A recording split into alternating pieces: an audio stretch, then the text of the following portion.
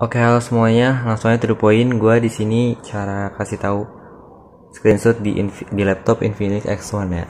Jadi caranya itu kalian pencet Fn, Windows, terus sama F12 yang ini. Nah habis itu kalian boleh tekan bareng-bareng atau enggak satu-satu. Fn, Windows, terus F12. Tinggal gini aja. Gitu. Itu kalau kalian layar kedip berarti udah ke screenshot. Terus bagaimana cara ng- ngelihat tempat screenshotannya tadi di mana gitu loh. Nah kalian bisa lihat aja di sini. Gua kasih tahu.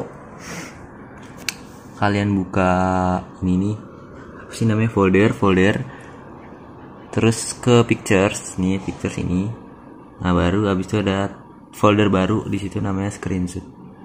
Nah ini yang tadi barusan gue screenshot guys. Gitu. Tuh, jadi kayak gini oke terima kasih